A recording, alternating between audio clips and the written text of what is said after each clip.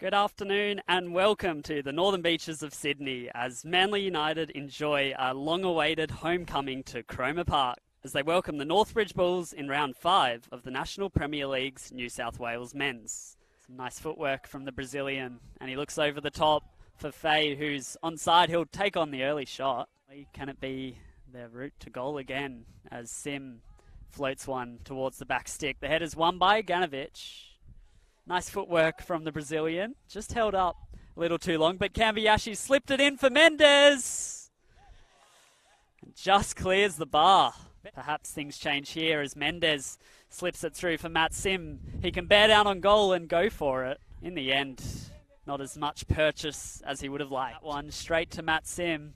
Here might be a chance. It'll fall to Fay at the back post. And it had to get tapped to safety can lay it back for Ashton. Nice work from the fullback as the ball comes in. Jimmy Oates making the run. The shot might be on here for Mendes. And somehow he doesn't squeeze it in. Find their mark in the first half. This one putting Kay under pressure.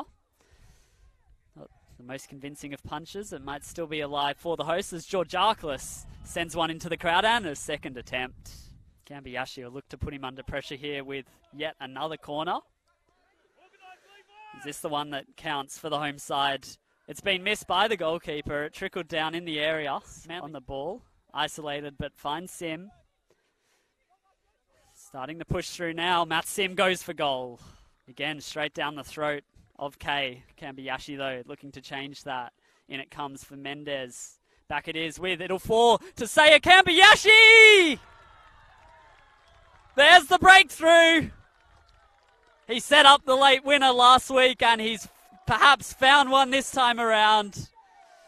You thought if one man was going to make the difference, it would be Saya Kambayashi, as does Sim. Matt Sim now look to slip it in for the Brazilian. And a bit of miscommunication. It'll fall to Bruno Mendes. And that should put things to bed for Manly. They've been so resolute all night, the Bulls but just a single moment, and Manly can celebrate with their home fans for the first time this year.